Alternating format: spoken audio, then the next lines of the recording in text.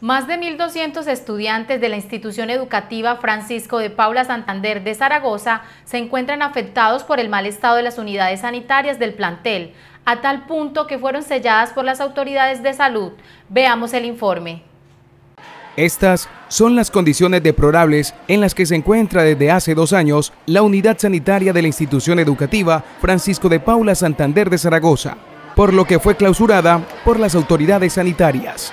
Desde el año anterior se viene realizando visitas de inspección, vigilancia y control con el propósito de que la institución mejore sus condiciones sanitarias y hasta el momento las condiciones no han mejorado y día a día se empeora. La grave situación sanitaria viene afectando a 1.200 estudiantes que temen por su salud. Nos estamos quedando sin clases por el mal manejo de los baños a través de todos estos años. Yo le pido al rector, al gobierno municipal y al gobierno departamental que por favor nos intervengan esos baños. Si no la interviene rápidamente la institución o en su defecto la administración municipal, nos tocará hacer un horario de emergencia. Ante la inminente desescolarización, para evitar problemas de salud, las autoridades se pronunciaron. Esperamos hacer una reunión extraordinaria eh, en la que esté también el rector y la representación de los docentes para ver qué mecanismo buscamos para solucionar este problema.